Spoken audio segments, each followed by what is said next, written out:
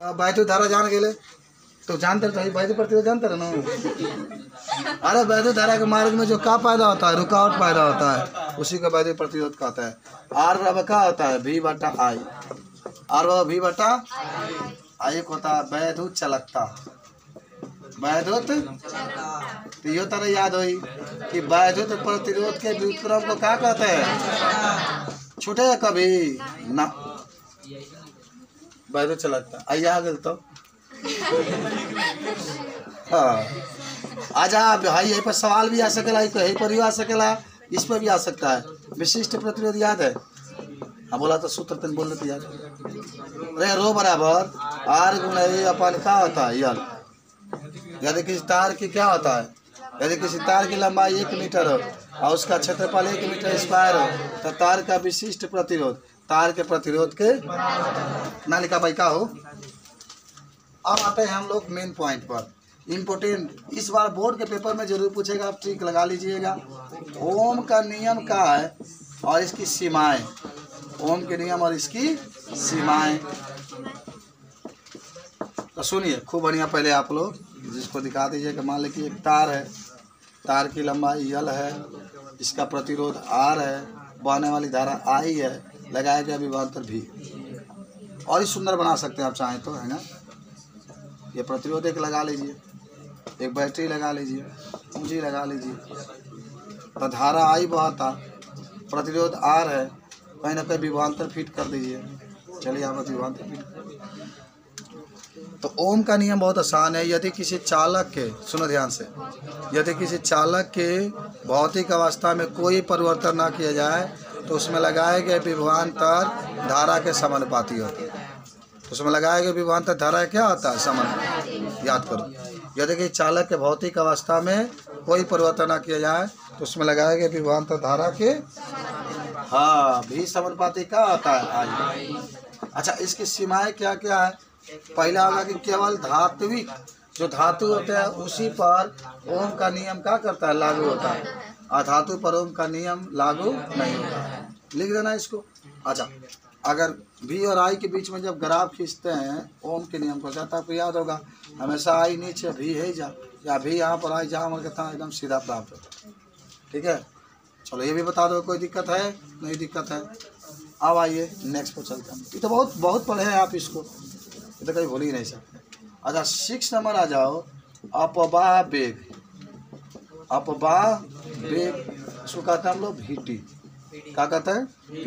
तो सुनिए माने अपवाह बेग वह न्यूनतम बेग होता है जिसके द्वारा इलेक्ट्रॉनों की गति को बढ़ाया जा सकता है। अपवाह बेग वह वह न्यूनतम बेग होता है जिसके द्वारा इलेक्ट्रॉनों की गति को क्या किया जा सकता है? बढ़ाया जा सकता है। सब आपको याद है। वैद्युत ऊर्जा भी याद होगा कि तार के द्वारा जो ऊर्जा में प्राप्त होता है उसी को क्या कहते हैं? वैद्युत ऊर्जा कहता है।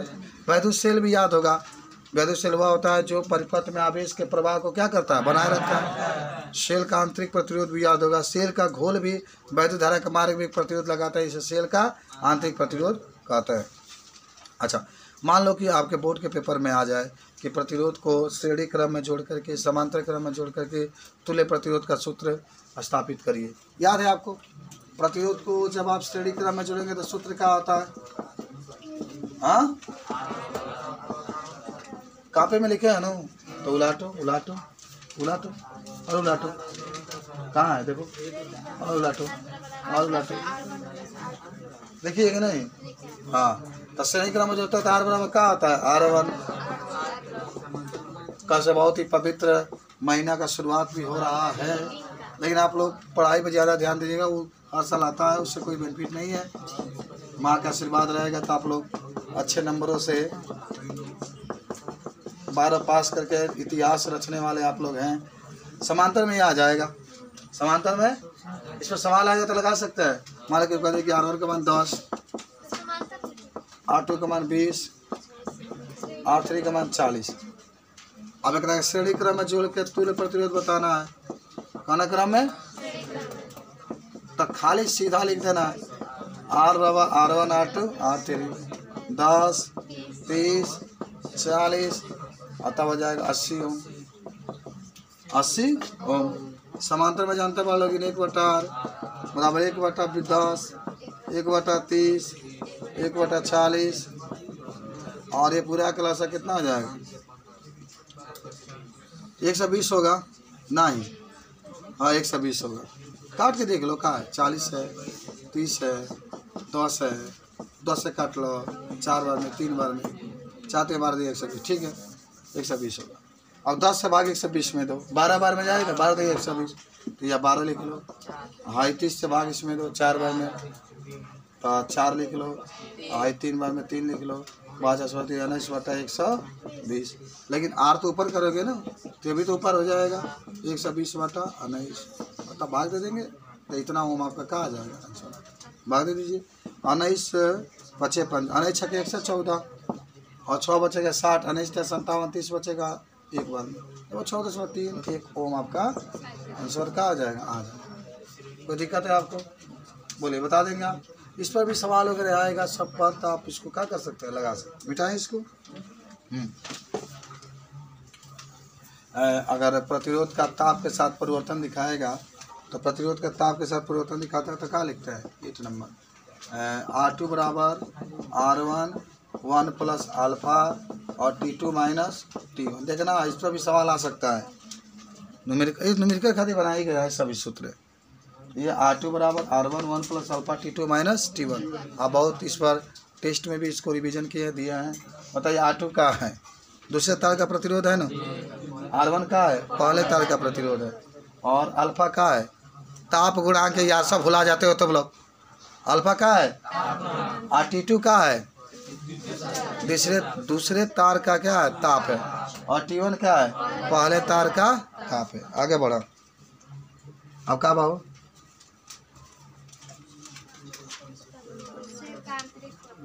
सब पढ़ा दिल वाले आगे बढ़ो।